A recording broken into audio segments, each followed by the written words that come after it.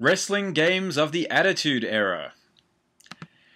Now, first up, it's not necessarily the Attitude Era, but this is one of the first games, uh, first wrestling games I can remember playing on the PlayStation 1. It's 1996's WWE In Your House by Acclaim. And uh, Acclaim went on to make quite a few titles for PS1 and N64. Uh, but this is by far the worst of them. I mean, if you look at the game, it's it's so fast. I remember playing it. It's, it's like the whole game is on crack. Uh, it's like they tried to compensate for a really shitty game by just speeding it up, and it was just awful. Not much else to say about this game, really. It, it was pretty terrible. Mixing it up.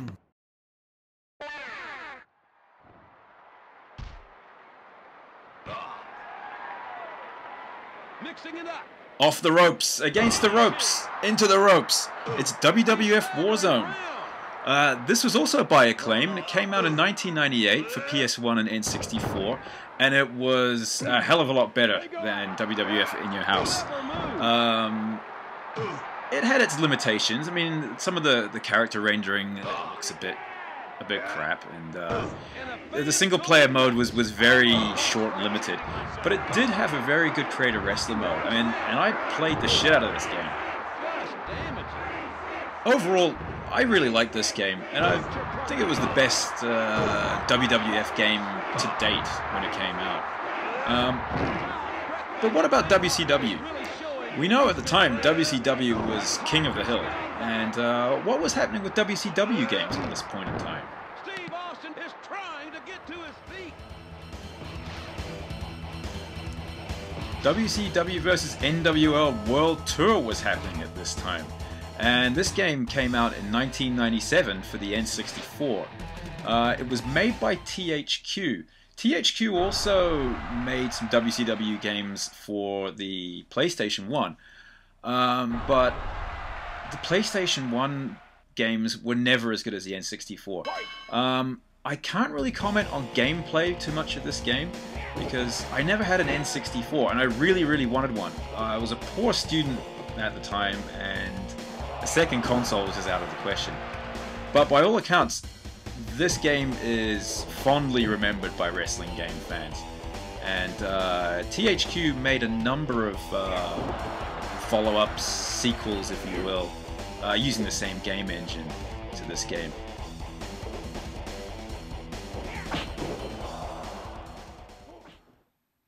WCW Nitro, released for the PS1, N64, and even the PC in 1997.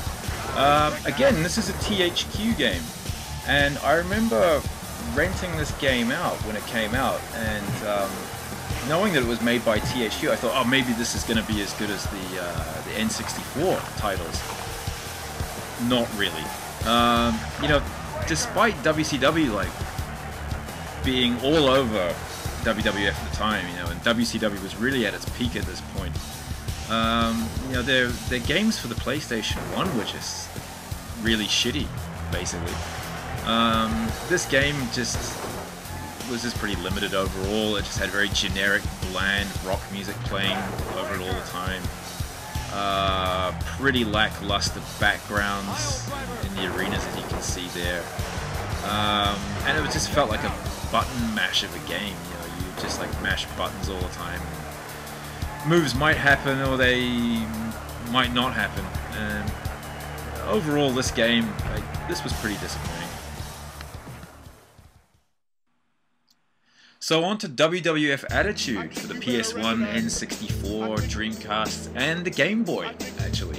Uh, this was Acclaim's last sort of big wrestling title uh, that I can remember for, for the PlayStation 1. Uh, basically just an upgrade version of WWF Warzone uh, the, the, year prior.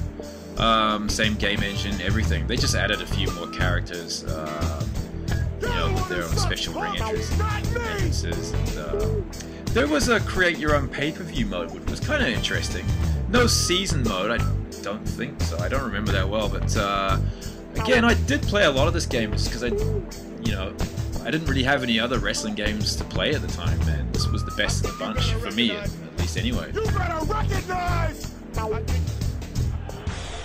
So Acclaim's follow-up to the previous year's WCW NWO World Tour N64 game was WCW NWO Revenge, released at the end of 1998, at the peak of WCW's popularity.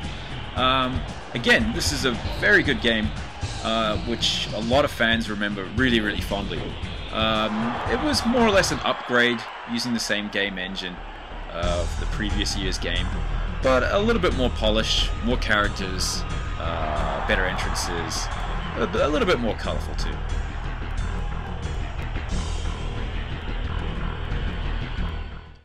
And finally, the granddaddy of them all, WWF WrestleMania 2000 for the N64.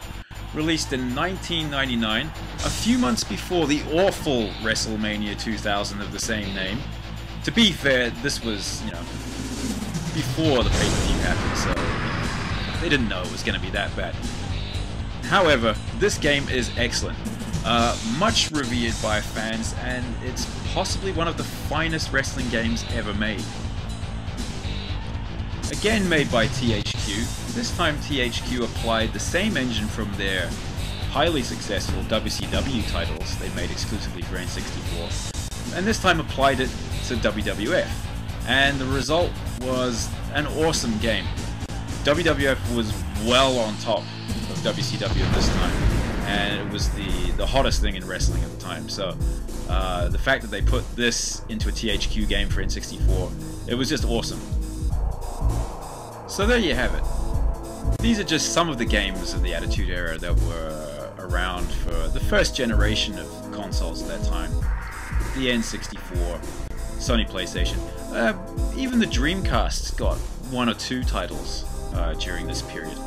Now again, I've missed a few games out here and there, but um, if there are any games that you really enjoyed and you feel need a mention, let me know by leaving a comment, and thanks for watching.